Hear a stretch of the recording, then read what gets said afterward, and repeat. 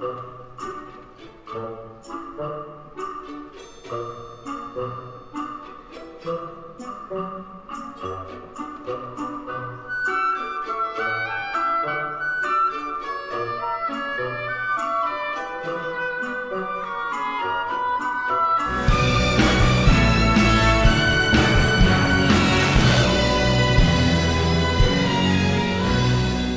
При неспешной прогулке по улице Новослободска можно заметить интересную вывеску. Резчик по дереву Александр Зимин создал уникальную выставку в нашем городе. Около полутора тысяч работ разместились на выставке резьбы по дереву. Ее хозяин Александр Зимин последние 40 лет занимается работой с деревом. Удивительно, что это просто его хобби.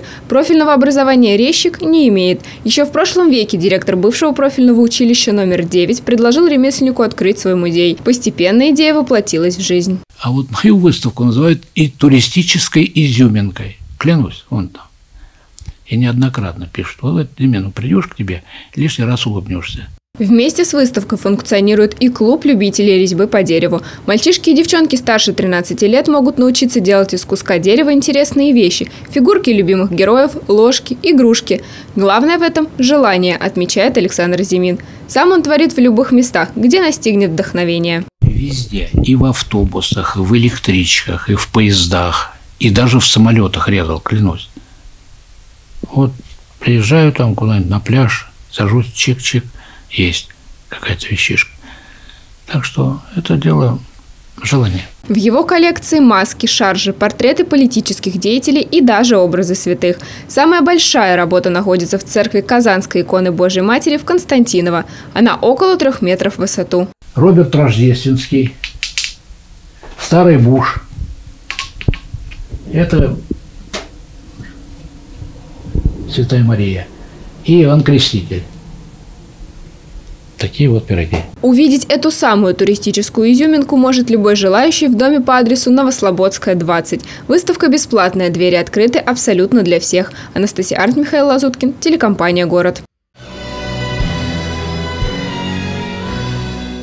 Икона «Страшный суд» – один из самых полных изводов апокалипсиса в станковой живописи 17 века. Визуально ее можно разделить на две части. Слева по правую руку от Спасителя изображены святые, праведники и их души. Справа расположены бесы, грешники и падшие ангелы, которые спускаются в ад. Сама икона подсказала идею выставки. Дело в том, что это не первый выставочный проект в музее, который посвящен такому памятнику. Когда эта икона только была открыта и отреставрирована в центре Грабаря в Москве, а, выставка состоялась, но эта выставка была сосредоточена вокруг отдельных персонажей и эпизодов, а, включаемых в иконографию страшного суда, и позволяла зрителю просто поближе в фрагментах познакомиться с отдельными участками этого памятника. А вот нынешняя выставка – это такая сумма накопленного нами опыта за прошедшие, получается, 15 лет – по изучению этого памятника и по включению его в общую историю древнерусского искусства. Западноевропейская и русская гравюра, деревянная, полихромная скульптура и икона синодального периода. Разнородные произведения искусства помогают зрителю составить полное представление о стилистике и семантике влияний, которые отражены в страшном суде. Отдельное место в экспозиции занимают лубочные листы. Этот вид графики представляет собой изображение с подписью. Лубки отличаются простотой и доступностью образов. На этой камерной выставке они демонстрируют восприятие идеи конца света в народном сознании. Большая часть выставки посвящена собственной истории научной реставрации иконы «Страшный суд» и парной ей как тематически, так и по происхождению иконы воскресения сошествия в ад. В общем-то, а, вот так всесторонне изучить, понять и прочувствовать этот памятник было бы просто невозможно без помещения его в музейную среду, поскольку изъят он был в ходе экспедиции в 70-е годы в состоянии э, крайне плачевном. Живопись 17 века была записана слоем 19 века, а лифа совсем потемнела. И э, по большому счету сохранность этой иконы – это большая удача. А что касается введения ее в экспозицию самой камерной выставки, мы посчитали это излишним, потому что сама икона «Страшный суд» уже больше 10 лет занимает свое место в, экспози... в постоянной экспозиции древнерусского искусства. Экспозиция «Страшный «Страшный суд» – это настоящее погружение в эстетику времени, которое, безусловно, станет увлекательным даже для искушенного экскурсанта. Выставка будет работать до 31 августа. Кристина Бочкарева, Михаил Лазуткин, телекомпания «Город».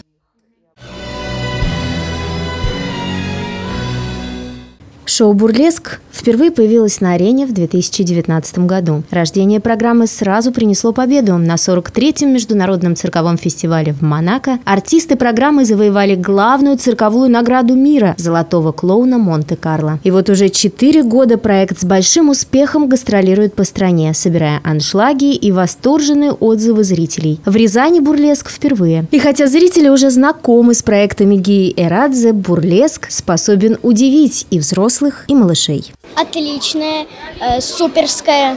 Мне нравится. Э, мне нравится, как там клоун бабочка там показывал так вот. Пум -пум -пум. Мне понравилось еще, как лошади э, и зебры катались. Акробаты суперские. Когда обезьянки бегали. Акробат, девушка очень прям страшно. Мурашки. Больше всего меня впечатлило, когда гимнасты перепрыгивали на другую качелю, с одной на другую. А животные, какие зверушки больше всего? Зебра. Когда-нибудь до этого видели зебр, вот лемуров? Только зебру только в фильмах и лемуров тоже. 1 июня, в День защиты детей, состоялась премьера. На манеж Рязанского цирка вышли яркие звезды российского циркового искусства, лучшие артисты королевского цирка Гия Эрадзе и компании «Росгосцирк», зажигательная русская кадриль и бесстрашные акробаты на встречных качелях, сказочный пегас и царевна-лебедь, эквилибристы на рояле в окружении утонченных балерин, страстная танго гимнастов на турниках, уникальный номер воздушных гимнастов в струях воды. После него зал аплодировал Толстое. Это уникальный номер, вправду, потому что он составлялся, он создавался специально под это шоу. А, в струях воды такого в российском цирке а, не было. И благодаря нашему гениальному продюсеру Георгию Георгиевичу это состоялось, а, этот номер. Благодаря нашим режиссерам, их вдохновению и, может, нашему труду произошел такой красивый номер. Естественно, он технически сложный, потому что вода, это все понятно, очень скользко.